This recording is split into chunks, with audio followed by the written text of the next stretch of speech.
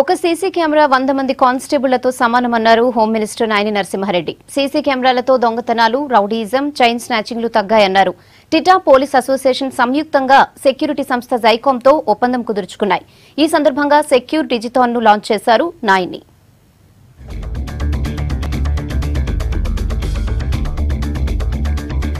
CC కెమెరాల ఏర్పాటు కోసం Telangana information technology association Telangana state police association సంయుక్తంగా జైకామ్ సంస్థతో ఒప్పందం చేసుకున్నాయి. హోటల్ మ్యారియట్లో జరిగిన ఈ కార్యక్రమంలో హోంమంత్రి నాయి నరసింహారెడ్డి సెక్యూర్ డిజిదాన్ లోగోని లాంచ్ చేశారు.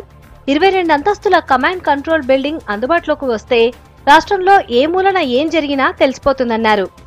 సేఫ్ హైదరాబాద్ అని చెప్పిన నినాదంతో ఈ టెక్నాలజీని సీసీ కెమెరాలను ఇక్కడ ఇంట్రడ్యూస్ చేసి రెంటల్ బేస్ మీద కూడా ఇచ్చి ఈ సీసీ కెమెరాల ద్వారా నేరాలను అరికట్టేదానికి ఉపయోగపడుతుందని చెప్పనే విషయంలో ఇక్కడ ఇక్కడ సదస్సు ఏర్పాటు చేశారు ఇక్కడ కన్వెన్షన్ పెట్టారు. గవర్నమెంట్ పెట్టని దగ్గర ప్రజలు పెట్టలేని దగ్గర వీళ్ళు పెడితే కిరాయికు తీసుకొని ఒక మూడేళ్ళు నాలుగేళ్ళ తర్వాత మళ్ళీ సీసీ కెమెరాలు ఓన్ అయిపోతాయి వాళ్ళకు సొంతం అయిపోతాయి.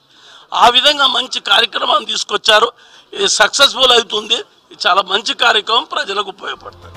కాలనీ లేదా అపార్ట్మెంట్స్లో సీసీ కెమెరాలు అమర్చుకుంటే కమాండ్ కంట్రోల్ ద్వారా జైకామ్ సంస్థ చూడటంతో పాటు ఏదైనా సంఘటన జరిగినప్పుడు అలర్ట్ అవుతుందన్నారు టిటా ప్రెసిడెంట్ సందీప్ కుమార్.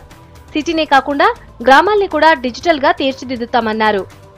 ఇవాళ జైకామ్ అని ఒక గొప్ప సంస్థ and uh, Telangana IT association వాళ్ళతో మన ఇక్కడ టైఅప్ అయ్యి సెక్యూర్ డిజిటాన్ ద్వారా డిజిటల్ అంటే డిజిటల్ గ్రామాలుగా ఏవైతే చేసినామో దాన్ని సెక్యూర్ అంటే సేఫ్ విలేజెస్గా సేఫ్ కాలనీస్గా మేము చేద్దామన్నది మా థాట్. కరీంనగర్లో కావచ్చు వరంగల్లో కావచ్చు ఆదిలాబాద్ ఇట్లాంటి డిస్ట్రిక్ట్స్లో వెళ్ళి అక్కడ కమాండ్ సెంటర్ ఏర్పాటు చేస్తే బాగుంటుంది అన్నప్పుడు వాళ్ళు చాలా పాజిటివ్గా రెస్పాన్స్ ఇచ్చిండ్రు.